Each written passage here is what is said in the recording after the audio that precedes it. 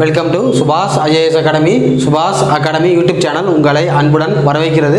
தற்போது சுபாஷ் அகாடமியில் தினந்தோறும் டெய்லி நம்ம என்ன பார்த்துட்டு இருக்கோம் அப்படின்னா இந்த ஆண்டு ரெண்டாயிரத்தி இருபத்தி மூணு ஏப்ரல் மாதம் நடைபெறவுள்ள சென்ட்ரல் கவர்மெண்ட்டில் எஸ்எஸ்சி என்று சொல்லப்படும் ஸ்டாஃப் செலெக்ஷன் கமிஷன் அதில் எம்டிஎஸ் தேர்வு எப்படி பாஸ் பண்ணுவது?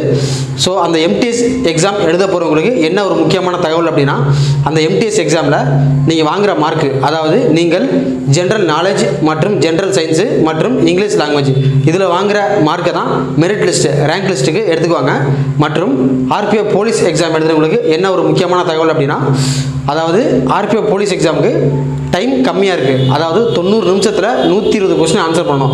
ஸோ அதனால் டைம் கம்மியாக இருக்குது கொஸ்டின்ஸ் எண்ணிக்கை அதிகமாக இருக்குது அதனால் அட்வான்ஸாக படித்தா ஈஸியாக பாஸ் ஆகலாம். ஸோ அதனால் நம்ம சுபாஷ் அகாடமியில் யாருடைய ஸ்டடி மெட்டீரியலை ஃபாலோ பண்ணுறோம் அப்படின்னா ஹிந்திக்காரங்க கேரளாக்காரங்க படிக்கக்கூடிய என்சிஆர்டி என்று சொல்லப்படும் சென்ட்ரல் கவர்மெண்ட் சிலபஸ் ஸோ எல்லா மத்திய அரசு போட்டித் தேர்வு நடைபெற்ற இங்கிலீஷில் உள்ள கொஷின்ஸை நான் தமிழில் டிரான்ஸ்லேட் பண்ணி டெய்லி வீடியோ போடுறேன். ஸோ எஸ்எஸ்சி எம்டிஎஸ் எக்ஸாமு மற்றும் ஆர்பிஓ போலீஸ் எக்ஸாமு ஆர்ஆர்பி எக்ஸாமுக்கு என்சிஆர்டி ஸ்டடி மெட்டீரியல் தமிழில் தே- தேவைப்படுறவங்க சுபாஷ் அகாடமி இந்த வாட்ஸ்அப் நம்பரில் காண்டாக்ட் பண்ணுங்க. அது பற்றிய முழுமையான விளக்கம் கொடுக்கப்படும். என்சிஆர்டி ஸ்டடி மெட்டீரியல் என்பது இங்கே நான் போர்டில் எழுதி போட்டிருக்க மாதிரி ஒரு கொஸ்டின் கொடுத்து நாலு ஆன்சர் ஒவ்வொரு சாப்டருக்கும் கீ ஆன்சர் இருக்கும். சரிங்களா? இதுதான் அந்த ஸ்டடி மெட்டீரியல் இதில் வந்து தௌசண்ட் கொஸ்டின்ஸ் ஆயிரம் கொஸ்டின்ஸ்க்கு மேற்பட்டிருக்கும். இது வந்து ஜிகே சயின்ஸு மேத்ஸு ரீசனிங் எல்லாம் தனித்தனியாக வரும். சரிங்களா? இப்போ நம்ம வந்து இந்த வீடியோவில் என்ன சாப்டர் பார்த்துட்டு இருக்கிறோம் அப்படின்னா இந்திய மாநிலங்களின் சிறப்புகள். அதாவது நம்ம ஒரு மார்க் வாங்கணும் அப்படின்னா ஒரு சாப்டர் ஃபுல்லாக படிக்கணும். ஒரு மார்க் ஈக்குவல் டு ஒரு சாப்டர் ஸோ ஒரு சாப்டர் ஃபுல்லாக படிச்சுட்டா உங்களுக்கு ஈஸியாக கிளியர் ஆயிரும். ஸோ அதனால தான் நான் ஒரு சாப்டர் ஃபுல்லாக வீடியோ போகிறேன் இப்போ நம்ம பார்க்க போகிற ஜிகே கிளாஸ் பகுதி தொண்ணூறு பார்க்க போகிறோம் இது வரைக்கும் நம்ம கிளாஸ்லாம் நீங்கள் பார்க்காம இருந்து சுபாஷ் அகாடமி சேனலை இப்போ தான் ஃபஸ்ட்டு ஃபஸ்ட்டு முதமுறையாக பார்க்குறீங்கன்னா மறக்காமல் சப்ஸ்கிரைப் பண்ணிவிட்டு பக்கத்தில் இருக்கின்ற பெல் பட்டனை ப்ரெஸ் பண்ணிவிட்டு ஆள்னு கொடுத்துருங்க. இதுபோல் என்சிஆர்டி வினாவிடைகள். ஒரு நாளைக்கு ரெண்டு வீடியோஸ் உங்களுக்கு நோட்டிஃபிகேஷனாக வந்துட்டுருக்கும் ஸோ இப்போ நான் வந்து சென்ட்ரல் கவர்மெண்ட் மெத்தடில் கொஸ்டின்ஸ் கேள்வி கேட்குற மெத்தடில் கேள்வி பதில் எழுதி போட்டிருக்கேன். இப்போ நான் சரியான விடையாக டிக் பண்ண போகிறேன் நீங்கள் வீடியோ மட்டும் பார்க்காம கொஸ்டின் ஆன்சரை எழுதி ஃபாலோ பண்ணிட்டு வந்தால் மட்டும்தான் இது உங்களுக்கு யூஸ்ஃபுல்லாக இருக்கும்.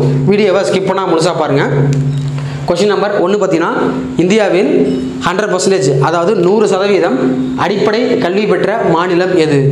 இந்தியாவில் இருபத்தெட்டு ஸ்டேட் இருக்குது இந்தியாவில் நூறு சதவீதம் அடிப்படை கல்வி பெற்ற ஃபண்டமெண்டல் எஜுகேஷன் பெற்ற மாநிலம் எது அப்படின்னு நாலு ஆப்ஷன் கொடுத்துருக்காங்க. Option A Kerala option B Tamil Nadu.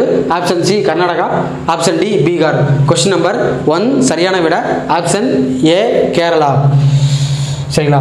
Next question number two ரெண்டு பார்த்தீங்கன்னா இந்தியாவின் முதல் ரப்பர் பார்க் எந்த மாநிலத்தில் தொடங்கப்பட்டது? இந்தியாவின் முதல் ரப்பர் பார்க் எந்த மாநிலத்தில் தொடங்கப்பட்டது? நமக்கே தெரியும். இந்தியாவில் ரப்பர் உற்பத்தியில் முதலிடத்தில் உள்ள மாநிலம் கேரளா. நம்ம ஏற்கனவே பார்த்துருக்கோம். இந்தியாவில் ரப்பர் ப்ரொடக்ஷனில் ஃபஸ்ட் உள்ள மாநிலம் கேரளா. ஸோ அப்போ கொஸ்டின் நம்பர் டூ ரெண்டுக்கு சரியான விட. Option A Kerala. அவங்க ஆப்ஷன் பி பீகார் கொடுத்துருக்காங்க. Option C Karnataka. Option D Tamil Nadu. Question number two ரெண்டுக்கு சரியான விட. Option A Kerala. சரிங்களா? ஸோ அப்போ இந்தியாவின் முதல் ரப்பர் பார்க் அமைக்கப்பட்ட மாநிலம் Kerala. Next question number three மூன்று பார்த்தீங்கன்னா கடைசியாக இந்தியாவுடன் இணைக்கப்பட்ட ஐரோப்பிய காலனி எது? அதாவது இந்தியாவிற்கு ஐரோப்பியன் வருகை. அந்த சாப்டரில் இந்தியாவுக்கு டச்சுக்காரங்க ஃப்ரெஞ்சுக்காரங்க பிரிட்டிஷ்காரங்க நிறைய பேர் வந்திருக்காங்க. ஸோ அப்படி பார்க்கும்போது அதில் கடைசியாக இந்தியாவுடன் இணைக்கப்பட்ட ஐரோப்பிய காலனி. எது அப்படின்னு? நாலு ஆப்ஷன் கொடுத்துருக்காங்க.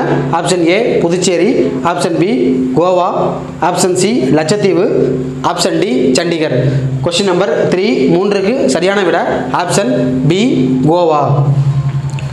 So Goa யாருடைய ஆதிக்கத்தில் இருந்துச்சு அப்படின்னா போர்ச்சுகீசியர் கோவா யாருடைய ஆதிக்கத்தின் கீழ் இருந்துச்சு காலனியாக இருந்துச்சு அப்படின்னா போர்ச்சுகீசியர்கள் ஸோ அப்போ இந்தியாவின் இந்தியாவுடன் கடைசியாக இணைக்கப்பட்ட ஐரோப்பிய காலனி எது அப்படின்னா?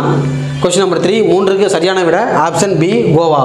Next question number four நாலு பார்த்தீங்கன்னா கோவா மாநிலத்தை இந்தியாவுடன் இணைக்க மேற்கொள்ளப்பட்ட நடவடிக்கையின் பெயர் என்ன? கோவா மாநிலத்தை இந்தியாவுடன் இணைக்க மேற்கொள்ளப்பட்ட நடவடிக்கை. அந்த ஆப்ரேஷனுக்கு பேர் என்ன அப்படின்னு நாலு ஆப்ஷன் கொடுத்துருக்காங்க. Option A operation India. Option B operation Vijay. Option C operation Bharat. Option D operation Shakti. So question number four நாலுக்கு சரியான விட. Option B operation Vijay. சரிங்களா? ஸோ இந்த வேலையை அதாவது இந்த நடவடிக்கையை மேற்கொண்டவர் யார் அப்படின்னா இந்தியாவின் இரும்பு மனிதர் என்று சொல்லப்படும் சர்தார் வல்லபாய் பட்டேல் அவர்கள். சரிங்களா? நெக்ஸ்ட் கொஸ்டின் நம்பர் ஃபைவ் அஞ்சு பார்த்தீங்கன்னா இந்தியாவில் குறைந்த மாவட்டங்கள் கொண்ட மாநிலம் எது? மாவட்டங்கள் டிஸ்ட்ரிக்ஸ் இந்தியாவில் குறைந்த மாவட்டங்கள் கொண்ட மாநிலம் எது? இப்போ நமக்கே தெரியும் இந்தியாவில் அதிக மாவட்டங்கள் கொண்ட மாநிலம் யூபி உத்தரப்பிரதேசம். அப்போது இங்கே என்ன கேட்குறாங்கன்னா இந்தியாவில் குறைந்த மாவட்டங்கள் கொண்ட மாநிலம் எது அப்படின்னு நாலு ஆப்ஷன் கொடுத்துருக்காங்க.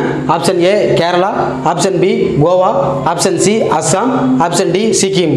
Question number five அஞ்சுக்கு சரியான விட. Option B Goa.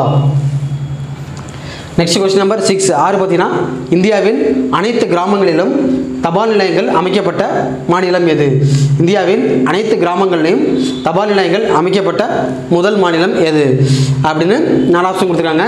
Option A Sikkim option B Goa option C Assam option D Bihar question number six ஆறுக்கு சரியான விட ஆப்ஷன் பி கோவா சரிங்களா? அப்போ இந்தியாவில் ஆல் வில்லேஜஸ் அனைத்து கிராமங்களிலும் தபால் நிலையங்கள் போஸ்ட் ஆஃபீஸ் அமைக்கப்பட்ட முதல் மாநிலம் எது அப்படின்னா கோவா. ஸோ கோவா மாநிலம் யூனியன் பிரதேசம் அல்ல. கோவா மாநிலம். சரிங்களா? நெக்ஸ்ட் கொஸ்டின் நம்பர் செவன் ஏழு பார்த்தீங்கன்னா இந்தியாவின் சர்வதேச திரைப்பட விழாக்களின் நிரந்தர இடம். சர்வதேச திரைப்பட விழா அப்படின்னா international film festival international film festival so இந்தியாவில் சர்வதேச திரைப்பட விழாக்களின் நிரந்தர இடம் எது அப்படின்னு நாலு ஆப்ஷன் கொடுத்துருக்காங்க. Option A Goa. Option B Tamil Nadu. Option C Kerala. Option D Puducherry. Question number seven ஏழுக்கு சரியான விட. Option A Goa. சரிங்களா ஸோ அப்போ இந்தியாவில் இன்டர்நேஷ்னல் ஃபிலிம் ஃபெஸ்டிவல் இதோட நிரந்தர இடம் எது அப்படின்னா Goa. Next question number eight எட்டு பார்த்தீங்கன்னா இந்தியாவின் மிகப்பெரிய கிறிஸ்தவ தேவாலயம். தேவாலயம் அப்படின்னா சர்ச்சு ஸோ இந்தியாவின் மிகப்பெரிய தி லார்ஜஸ்ட் சர்ச்சு சரிங்களா?